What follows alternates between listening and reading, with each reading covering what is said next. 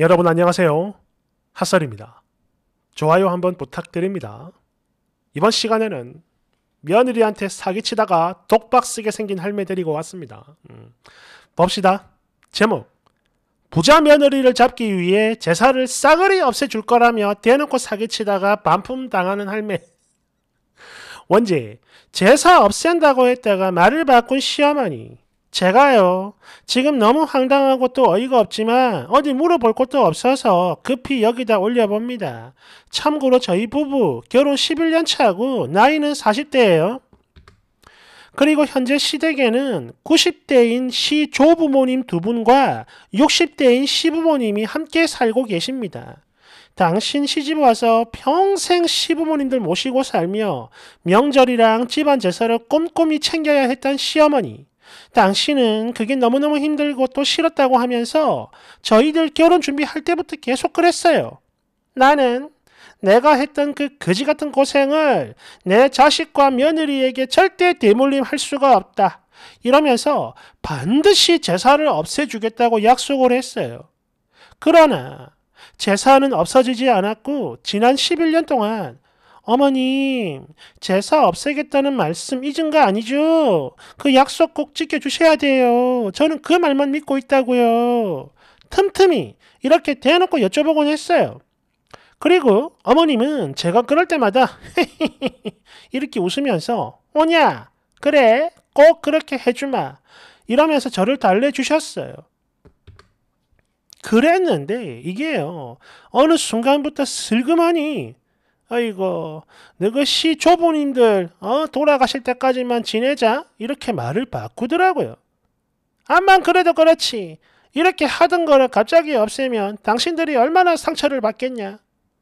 막말로 저분들이 뭐 살아봐야 앞으로 얼마나 더 사시겠냐. 그러니까 네가 좀 참고 저 두 분 돌아가실 때까지만 하자. 등등등. 저한테 막 부탁 같은 걸 하시더라고요. 하긴 그래요. 워낙 옛날 분들이고 그런 어른들 생각을 한순간에 갑자기 바꾼다는 건 정말 어려운 일이라는 걸 저 역시 알고 있었기 때문에 그래 그냥 내가 좀 참고 한 10년 정도만 도와드려야겠다 이렇게 생각을 하며 받아들이고 넘어갔어요. 물론 저희 남편도 이때 옆에서 이 이야기를 다 들었고 제가 또 한번 확인해 보니까 그렇게 정확히 기억을 하고 있더라고. 그랬는데 이번 추석 때 어머님이 전을 붙이다 말고 저를 빤히 쳐다보면서 갑자기 정말 개뜬금없이 근데 말이다. 제사를 아무리 없앤다 하더라도 저 어른들 제사는 챙겨야 하지 않겠냐? 이러는 거예요. 순간 깜짝 놀라가지고 예? 지금 그게 무슨 말씀이세요 어머님? 이랬더니 아이고 조상님들 제사야 이제 다 없애도 되겠지만 너희 시 조부모님들 제사는 지내야 그게 도리 아니겠냐? 그게 어? 이 집안 며느리의 도리다 도리. 대신 우리들 재산은 안 지내도 된다. 어처구니가 없어가지고 말도 안 나오고 가만히 쳐다보니까 또 하는 말이 이거예요. 뭘 그리 쳐다보냐? 내가 하는 말 뭔 뜻인지 모르겠냐? 그냥 제사 다 없애더라도 저 어른들 재산은 챙겨야 하고 나중에 우리가 죽으면 너희 둘이 어디 가서 뭐 외식이나 하든가 아니 갑자기 여기서 외식 이야기는 왜 나오는 거야? 대충 그렇게 둘러대 제가 둘러댔고 정확한 답은 안 했어요. 에에에 이러고 말았죠. 그리고 화장실 가는 척하면서 남편한테 이 상황을 전했어요. 어머님이 방금 이런 소리를 하셨는데 이거 뭐냐? 나 지금 너무 어지럽다. 당신이 다시 한 번 더 확인을 해봐라. 이렇게요. 그러자 남편은 바로 극대노를 했고 통화를 하겠대요. 아 참고로 이때 저 혼자만 시댁에 전부치러 온 거예요. 남편 없었습니다. 뭐 자기도 재산은 맡을 생각이 없고 말도 안 되는 거라며 화를 내더라고. 그리고 시간이 지나서 바로 오늘이죠. 남편이 이 이야기를 합니다. 자기가 어머니랑 통화를 해봤는데 제사에 대해서 저희가 뭔가 오해를 하고 잘못 알고 있는 거라고 하셨대요. 당신은 나는 그런 식으로 말을 한 적이 없다. 이랬대요. 없애주겠다는 건 어디까지나 조상님들 제사고 시조부모님 제사까지 없애는 건 얘기를 안 했다 이겁니다. 그러면서 뭐 명절 되면 어차피 시댁에 오니까 와가지고 음식들 하는 김에 그냥 지내면 되는 거고 제사도 마찬가지. 시어머니 당신이 준비를 하면 그만이니까 너희들이 힘들 건 하나도 없지 않느냐? 이런 말을 했대요. 그래가지고 남편도 처음에 기가 막혀서 아니 아니 어떻게 평생 엄마 혼자 음식을 다 하냐고 어? 더 여서 드시면 결국 며느리가 하는 거 아니냐? 우린 그럴 마음이 없다니까. 아니 아예 생각도 안 했다고. 게다가 우리가 힘들 게 없다니 그건 또 뭔 소리야. 어? 하루 전에 애들 다 끌고 가가지고 전 부치고 바닥에서 거실 바닥에서 자고 새벽같이 일어나가지고 음식 세팅하고 치우고 나면 설거지도 산더미고 그거 다 하고 물기 닦아야 되고 어? 또 음식도 다 나눠가지고 담아야 되고 우리도 힘들어 엄마. 이렇게 크게 화를 내며 뭐라 했더니 그래 힘든 일 안 시키면 되잖아. 어? 너가 할아버지 할머니 제사까지 없애버리면 너가 아버지가 얼마나 서운할지는 생각을 해봤냐 이 썩을 놈아? 이랬다는데 참고로 저희 시아버지요 집안일 손도 안 되는 사람이고 조기 축구 다니는 사람입니다. 음식 준비는 어머님이 어? 하시고 세팅 마무리 치우는 그런 거 제가 다 해요 아무튼 끝까지 의견을 굽히지 않아가지고 결국 이 두 사람은 크게 싸웠고 아무런 합의도 하지 못한 채 전화를 끊었대요. 그래요. 여기까진 괜찮아요. 남편도 열심히 했으니까. 그런데, 그런데 이 인간이 슬쩍 그냥 당신이 우리 엄마를 조금 도와주면 안 될까? 이지랄. 야, 지금 안 그래도 기분 그지 같은데 이 인간이 기름을 확 들이붓더라고. 너무 실망스럽고 기분 거지 같아가지고 그냥 제 속에 있는 마음을 다 이야기했어요. 나는 말이야 차라리 아이고 에미야 내가 살다 보니까 이거를 다 없앤다는 게 마음이 너무 불편하다. 너랑 약속을 못 지켜서 미안하다. 이렇게 나오는 거라면 내가 뭐 반대를 하나든 하든 안 하든 어 그걸 떠나서 그래 뭐 사람이 그럴 수도 있지 마음 바뀔 수도 있지 이렇게 이해를 했을 거야. 근데 지금 봐봐라. 이거 완전 오리발 아니냐? 내가 언제 그렇게 말했냐? 너가 잘못 알아들었지? 이렇게 딱 잡아떼는 거 이게 정상으로 보이냐고. 지금 신뢰가 다 박살났는데 당신 혼자 다 한다는 거 그걸 어떻게 믿냐 내가. 어머니 점점 늙어가면 결국엔 내가 다 해야 되는 거 아니냐고. 그리고 솔직히 당신도 하는 거 거의 없으니까 그냥 나한테만 참고 하라는 거. 어? 솔직히 나 너한테도 사기당한 기분이야. 알고 있어? 이렇게 따졌어요. 그래요. 사람 치사하게 이런 소리까지 안 하려고 했는데 그냥 합니다. 저요. 결혼할 때 집 한 채 해왔고요. 지금도 제 명의로 된 다른 집이 한 채 더 있습니다.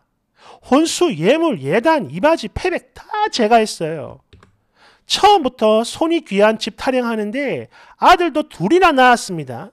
몸조리 비용 저희 부모님이 다 대주시, 대주셨고요. 애들 키울 때도 제가 혼자 전업하면서 다 키웠어요. 시댁에다가 키워달라, 좀 봐달라 부탁해본 적도 없어요. 왜? 집안에 더 큰 어른들이 계시니까 부담을 드릴 수가 없는 거잖아. 게다가 올해 초부터는 애들도 좀 컸고 제가 맞벌이 합니다, 지금. 그리고 남편 본인이 모은 돈 6천만 원 이게 전부였고요. 시부모님은 1억 아니 1,500 예물 끝. 그리고 그때 당시 저한테 했던 말이 바로 이겁니다. 아이고 정말 고맙다. 네 은혜 절대 잊지 않으마. 이거요. 저 혼자만 들은 게 아니라 남편도 다 같이 들은 거고 다 내가 다 퍼부었어. 아니 지금 이게 나한테 은혜를 갚는 거야? 며느리 돌이? 아니 내가 그동안 안 해온 게 뭐 있어? 안 한 게 뭐가 있냐고. 있으면 말해봐. 당신 하나 믿고 그거 다 내가 감당했던 거고 그랬는데 이런데도 내가 며느리 도리를 못한 거냐 이 집안에? 참고로 당시 저희 남편이요 월급 200만 원 받았어요. 그래요. 이런 말 하는 거 유치하죠. 진짜 사랑 하나만 보고 결혼했다니까. 내가 미친 거지. 여하튼 난 이제 앞으로 어머님이 하는 말 안 믿을 거야. 막말로 나한테 힘든 일 안 시킨다고 아무리 말하면 뭐하냐. 나중에 가서 기억 안 난다. 니들이 내 말을 오해했다. 이러면 그냥 끝나는 거 아니냐고. 내 말이 틀렸어? 이렇게 말을 하면서 진짜 확 엎어버리고 싶었는데 애들이 엄마 아빠 싸우니까 눈치를 봐서 일단은 참고 잠시 휴전 중인데요. 이게 그냥 사람이 가만히 있으니까 진짜 바보 등신으로 아는 건지 아니 내가 왜 이런 거지 같은 취급을 받으면서 저런 미친 말을 참고 수긍을 해야 하는지 너무 억울하고 화가 납니다. 아까도 말씀드렸지만 당신들 아직 60대예요 60대 시 조부모님 명절 제사 30년은 더 해야 90이 되는 거죠. 70 먹고 80 먹으면 과연 그 많은 음식을 다 하겠냐 이거예요. 저는 절대 아니라고 보는데 그런 만큼 결국엔 전부 다 제가 감당해야 할 일이 될 거라 이겁니다. 부끄럽죠. 부끄러운데 속마음 하나만 더 이야기할게요. 저 시집 올 때 진짜 빵빵하게 해왔으니까 비록 뭐 귀한 공주 대접까진 아니더라도 솔직히 며느님 정도는 해주실 거라 기대를 하고 왔거든요. 게다가 당신들이 그토록 원하는 아들을 둘이나 낳았으니까 더더욱 그랬죠. 물론 뭐 엄청 대단한 걸 원한 건 아니고 뭐 며느리한테 함부로 못하는 그런 거 있잖아요. 그런 정도는 원했어요. 근데 이게 뭐야? 진짜 이런 건 상상도 못했거든. 아 아마 이래가지고 초반에 제사 없앨 거죠, 제사 없앨 거죠 이런 말을 할 수 있었나 봅니다. 어, 힘이 있네요. 진짜 너무 어이가 없어가지고 연을 끊어버리고 아니 필요하다면 이게 받아들여지지 않는다면 그냥 이혼할 거야. 사실 저도 이제 나이를 먹으니까 시댁 식구들과 이런저런 언쟁하는 게 너무 싫고 피곤하고 그래서 피하고 싶은데 이번 제 사건은 절대 그냥 넘어갈 수가 없어요. 지난 10년 넘는 세월 참 많은 일들 있었죠. 그래도 지금은 어쨌든 평화로운 시기를 보내고 있었는데 일단 거지 같은 통수를 쳐 맞으니까 사람이 확 돌아버리네. 어? 만약 여러분들이라면 이런 경우 어떻게든 할 겁니까? 긴 글 읽어주셔서 감사합니다. 1번. 님은 그냥 더 이상 제사 참여 못하겠다 하고 뺏기 드세요. 님이 음식 안 하면 시어머니 혼자 하든 아니면 힘에 붙여가지고 없애버리든 당신 알아서 하겠죠 뭐. 그리고 그러니까 님은 남편에게 일관적으로 참석은 해도 일은 안 하겠다. 혹은 참석도 안 한다. 이렇게 하면 되는 거예요. 아참, 만약에 참석까지 하게 될 거라면은 그렇다면 절대로 일찍 가지 말고 제사 시작 타이밍에 그 시작 타이밍에 가세요. 아시겠죠? 2번. 님도 그냥 배 째야죠. 손 놔버려요. 뭐 하든지 말든지. 3번. 그거 기다릴 필요 없습니다. 그냥 눈 딱 감고 몇 번만 제사 명절에 안 가면 다 돼요. 농담 아니고 쓰니가 안 가면 그 제사랑 차례 바로 없어질 거야. 일할 사람 없으면 알아서 없어지는 게 바로 제사라고요. 4번. 제사를 지내고 말고는 시어머니 본인이 결정하는 거고 그러니 스님 며느리 스니가 뭐라 간섭할 필요가 있나요? 뭐 하든지 말든지 그냥 안 가면 그만이지 뭐. 며느리 없다고 제사 못 지낼 것도 아니고 스니만 그냥 처음 약속 그대로 지키면 되는 거니까요.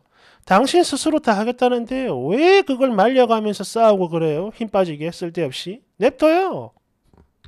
5번. 몰라서 물어?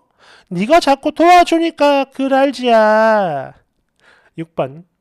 나중 돼봐라. 자기들 제사도 분명 지내달라고 할 거다. 깔깔깔깔. 7번. 아니 능력도 있는 분이 왜 이렇게 약하게 굴어요? 이거 사기잖아요, 사기. 원래 그래. 사기꾼들이 나중 되면 꼭 피해자 탓을 하잖아요.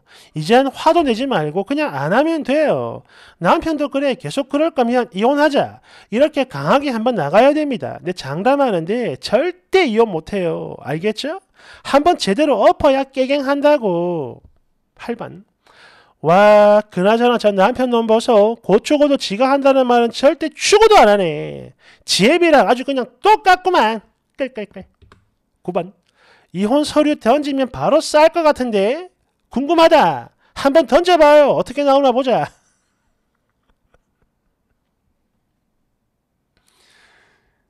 야, 진짜 말 바꾸는 것도 거지 같죠. 이순이도 그 얘기를 하네요.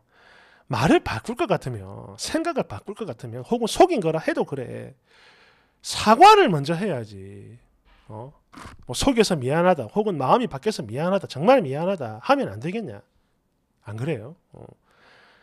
근데 나는 그런 말 한 적 없다. 진짜 하 그냥.